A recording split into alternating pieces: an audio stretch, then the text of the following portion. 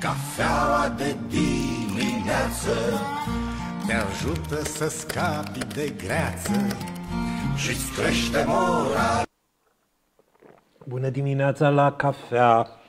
Mesagerul de neamț, știri din neamț. Astăzi, 16 ianuarie, am lăsat să treacă un pic de timp ca să vedem reacțiile la vestea dată de domnul ministru Rafila cu privire la construirea noului spital. De fapt, el n-a dat vestea cu privire la construirea noului spital. El a spus, bă, avem o listă de 27 de obiective pe care le vom finanța prin PNRR, se va ajunge în guvern, se va vota și după aceea hai la treabă. Acum, nu vreau să discutăm chestiuni tehnice astăzi. Vreau să vă arăt că, de fapt, proiectul ăsta al noului spital, faptul că a ajuns pe listă la PNRR, a însemnat o muncă de echipă. Nu o să vă vine să credeți. Dar a fost o muncă de echipă. Chiar dacă echipele s-au stuchit ca mâțele, și-au tras-o la joale, s-au înjurat, s-au uh, blagoslovit, dar a fost o muncă de echipă. Și o să vedeți că este așa. E adevărat că unii, unul, doi din echipe stau mai pe margine. Da, asta e. Asta este ghinionul, uh, ca să spunem așa, ghinion serviciu. Cum spunea Toma Caragiu, avantaj serviciu. Aici e ghinion serviciu. Trebuie să începem cu începutul și începutul a toate și finalul a toate în județul Neamț este, nu-i așa, Ionel Arsene. Să-i dăm cezarului cei al cezarului. Ionel Arsene postează acum patru zile pe pagina de socializare și spune am promis și mă țin de cuvânt. Județul Neamț va avea un nou spital. Așa. Bun, după ce vorbește el că e cea mai frumoasă veste, etc., etc., uh, am încercuit cu roșu un pasaj ca să vedeți că munca în echipă este muncă în echipă. Dragi nemțeni, iată, mai am un mega proiect pentru județul nostru. Regret că nu mi-au fost alături toți consilierii județeni cu care ar trebui să fac administrație, să fac echipă pentru dezvoltarea județului și trebuie să mă zbat doar cu colegii de partid. A spus dânsul, parcă citindu-l pe Andrei Carabelea după ședințele de Consiliu Local în care nu se votează proiectul Telegondore. Un mega proiect și el pentru Piatra Neamț. M-au contestat liberalii useriștii, s-au opus votului pentru studiu de prefezabilitate pentru nou spital. M-au criticat unii și alții. Iată, încă o dată, răutatea lor, ura, dușmânia pe care le au față de nemțeni, nu față de dânsul, față de nemțeni, sunt în zadar. În ciuda piedicilor lor, voi construi un nou spital în județul Neamț. Am văzut, deci, domnia sa va construi, cască are, Uh, din astea de șantier are, să-i dea Dumnezeu putere să lucreze pe șantier uh, în următorii doi ani, trei ani. Uh, ce mai spune domnul Arsene în comunicarea domniei sale? Mulțumesc, Doamne, că îmi dai putere. Voi lupta până la capăt să vedem acest spital ridicat. Acum ne aducem aminte de un banc de pe vremea lui Ceaușescu, când se spunea cu cincinalul realizat în trei ani și jumătate, dar mai avea o adendă în care se spunea că vom lupta toți până în 2023, după care intrăm în pauză. Luptăm până la 1, după care luăm o pauză. Să nu se întâmple cazul ăsta și să nu se întâmple lucrul ăsta și în cazul domnului Ionel Arsene, ca să-și vadă spitalul ridicat, mă, mă rog, măcar fundația. Acum, v-am spus că e lucru în echipă, în ciuda faptului că s-au stuchit, s-au făcut în fel și chip toți. Păi, dacă domnul Ionel Arsene le-a dat cu tifla celor de la PNL, să vedem și cum a luptat pentru spital PNL-ul. Pentru că ați văzut, domnul Arsene spunea așa, domne, pe mine nu m-au ajutat decât consilierii mei, pe aia de la PNL nu. Citându-l pe Andrei Carabelea, încă o dată vă spun, cum spune când spune, pe mine nu mă ajută consilierii PSD la megaproiectele mele. Nici pe Arsene nu l-au ajutat la megaproiectele lui liberalii. Dar, potrivit unui comunicat semnat de domnul George Lazar, președintele PNL Neamț, comunicat din care vedeți mai puțin partea cu titlu, în care spune guvernul Ciucă aprobă noul uh, spital, pe lângă faptul că se anunță că vom avea un spital nou construit cu fonduri PNR, avem și următoarea frază care este încercuită cu roșu, n-am avut altă culoare de data asta, PNL Neamț a avut dreptate atunci când a militat pentru întoimirea unui proiect cu șanse reale de reușită, așa cum este cel aprobat de guvern. Orice alte investiții similare megalomanice nu avut nicio șansă de finanțare, ca urmare a valorilor mult prea ridicate de circa 600 de milioane de euro pentru 800 de paturi, așa cum se dorea inițial. Și aici putem fi de acord cu domnul uh, Lazar. Mai departe, rămânem de acord cu domnia sa și cităm. În acest context, Mă bucur că toate demersurile pe care le-am întreprins la București, la Guvernul României, personal la premierul Nicolae Ciucă, s-au concretizat în această decizie extrem de importantă pentru nemțeni. Consider că această reușită se datorează inclusiv pragmatismului consilierilor județeni și parlamentarilor PNL, care, așa cum spuneau, au militat pentru respectarea legii și pentru un proiect realist. Pentru PNL Neamț este cel mai important că acest obiectiv va primi finanțare, se va construi nici de cum cineva tăia peste câțiva ani panglica la festivitatea de inaugurare. Lăsăm la o parte imaginea idilică cu tăiatul panglicii, peste câțiva ani om trăi și om vedea dacă vom avea panglică, nu că n-ar putea, fi, n-ar putea exista cineva care să taie panglica, problema e de panglică și de farfece, da, în rest este ok. Deci trecem peste asta și reținem că munca în echipă pentru finanțarea spitalului, pentru, finanțarea, pentru aprobarea proiectului spre finanțare uh, s-a desfășurat prin demersurile întreprinse la București, la guvern, la premierul Ciucă și prin poziția pragmatică a consilierilor PNL, în ciuda a ceea ce spunea domnul Ionel Arsene, că i s-au pus piedici. Dar reținem că prima parte a activității în echipă PSD-PNL a funcționat. Acum, nu putea lipsi din această in, in, uh, uh, enumerare cunoscutul uh, pentru părerile sale puțin mai exotice, adică domnul Iulian Bulai, încă deputat USR. Domnul Iulian Bulai a pus o postare scurtă la obiect și care vorbește despre omul căruia trebuie să-i mulțumim, putem să-i facem și o mică iconiță, n-ar fi o problemă, uh, să ne închinăm la ea, adică domnul Cristi Ghinea. Deci, domnul Iulian Bulai ne felicită, se felicită, ne felicită că vom avea un spital nou, va avea un spital județean nou prin fonduri PNRR, USR a făcut PNRR cât a fost la guvernare. Păi nu e așa? Vă dați seama că în loc de un duet sau de un duo pentru, finanț, pentru aprobarea proiectului, acum avem un trio.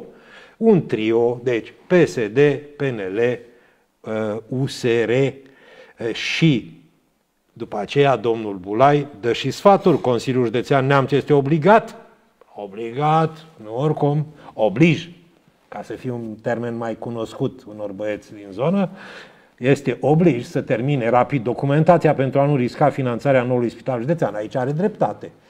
Dar finalul este genial. Bravo Cristian Ghinea pentru PNRR și spitale și A7 ești super tare. Era să spun, ești super glu la banii din PNRR. Dar e super tare. Deci, întregim echipa PSD, PNL, USR. Bun. Facem așa o paranteză, Bogdan o să mă scuze. Am căutat și ceva poziții de la AUR, dar AUR a avut niște poziții mai tranșante în perioada dinainte, acum imediat după n-am găsit. Probabil că există, dar le vom mai căuta.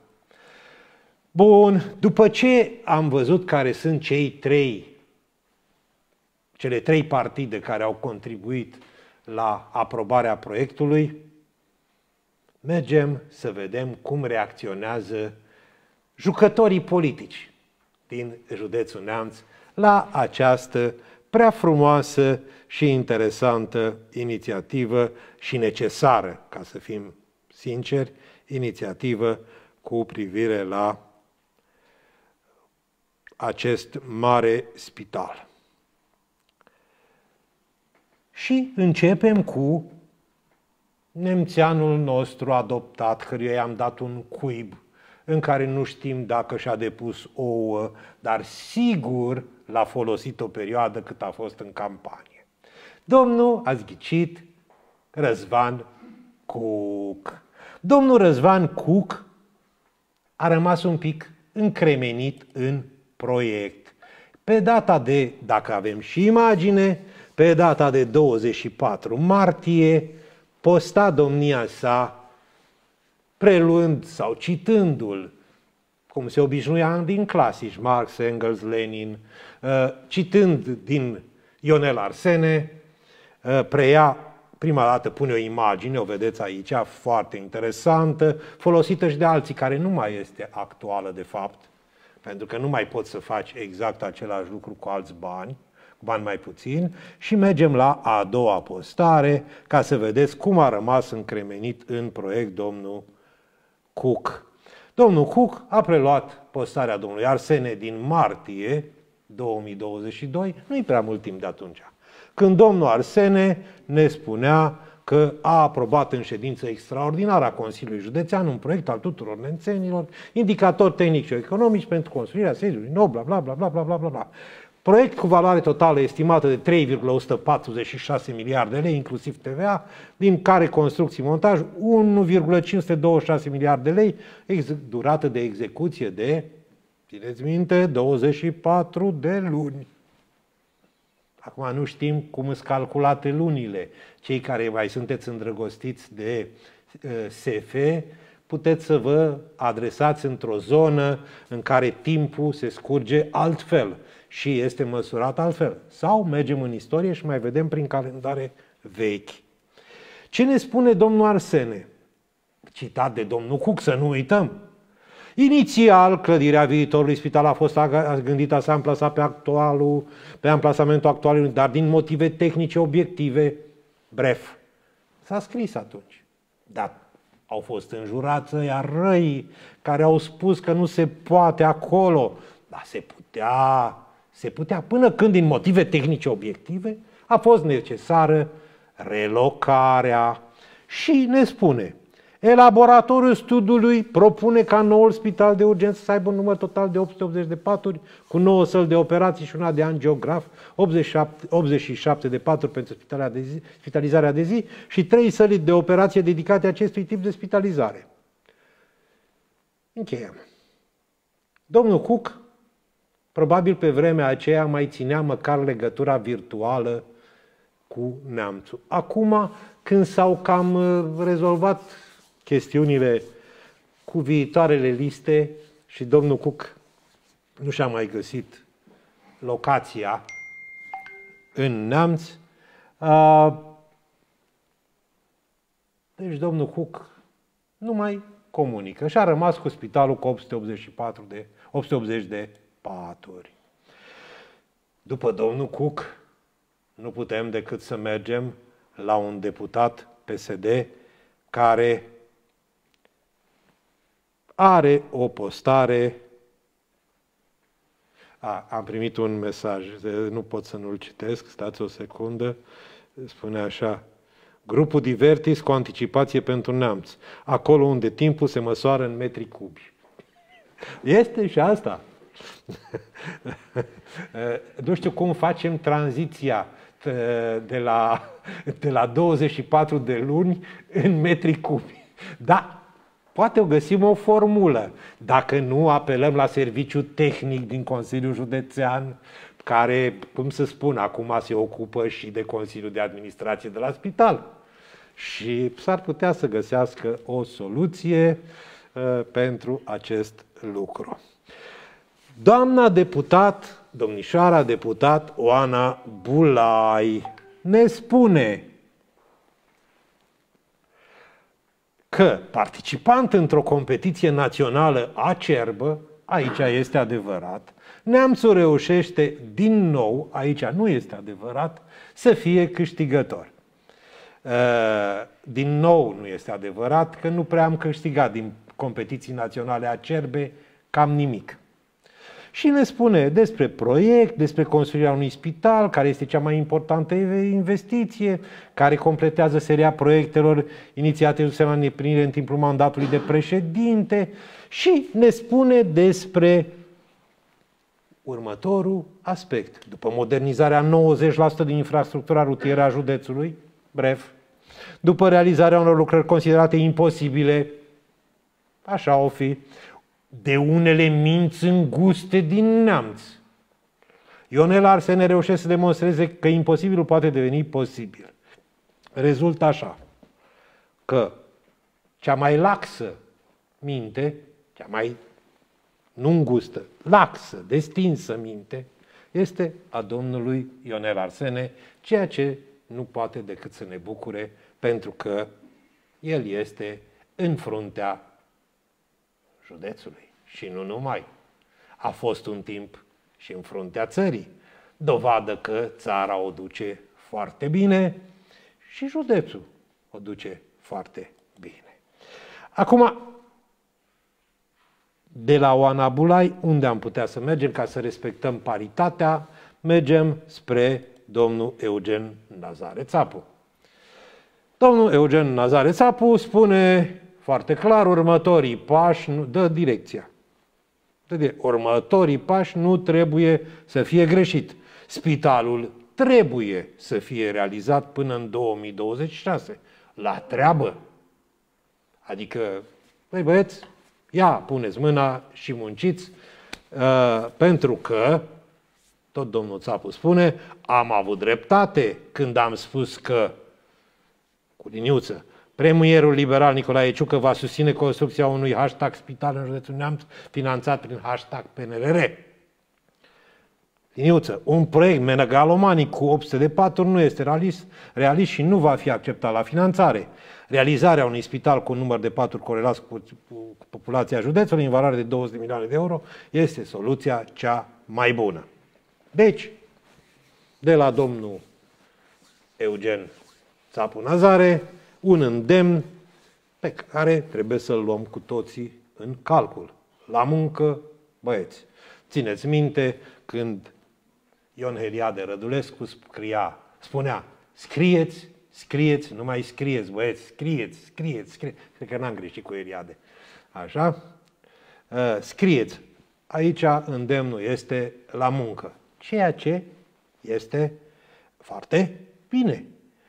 Până la urmă să reținem că domnul Eugen Nazare Țapu are și dreptate chestia aia cu proiectul megaloman. În rest, așteptăm să vedem cum vor merge lucrurile mai departe.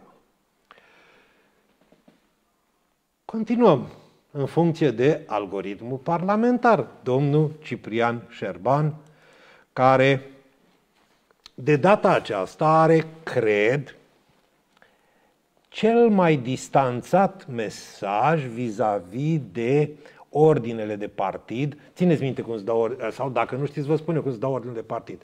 Postează șeful, automat trebuie să preiei, să postezi, să faci plecăciune, să pui un semn, să faci un hashtag, să faci ceva acolo și să mergi mai departe.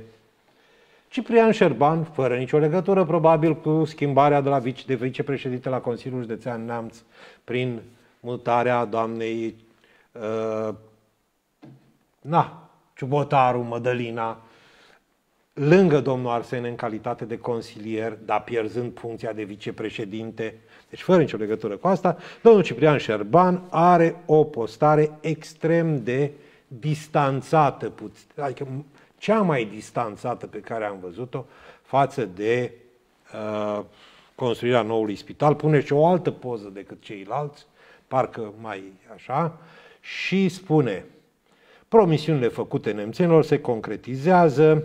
Astăzi, în urma ședinței, Ministerul a anunțat lista, proiectul de construire cu tot, toată titulatura inițiat de domnul președinte este pe lista scurtă a celor 27 de proiecte aprobate pentru finanțare. Este cea mai mare veste pe care nemțenii o puteau primi la început de an. Județul Neamț merită un spital de urgență nou la standarde europene.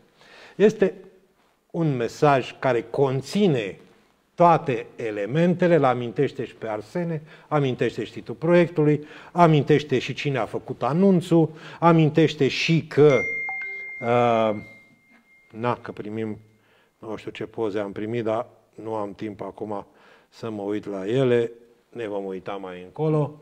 Deci, amintește toate amănuntele, dar lipsesc uh, plecăciunile.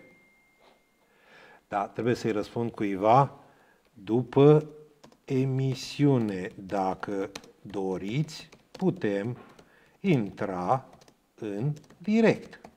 Cineva mi-a dat un mesaj că să discute cu mine. Și am spus că poate, e un oficial. Și am zis că dacă vrea, putem intra în direct în emisiune. Bun.